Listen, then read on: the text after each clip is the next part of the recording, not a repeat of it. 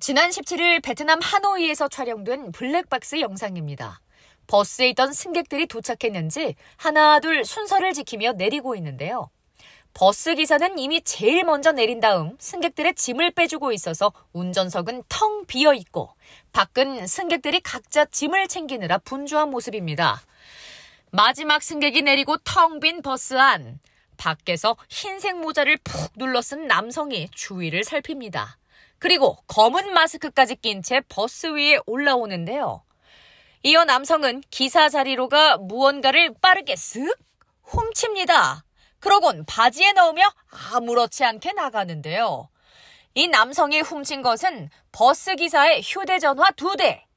운전석은 비어 있고 주위가 산만한 틈을 타 빠르게 휴대폰을 훔치고 달아난 것인데요.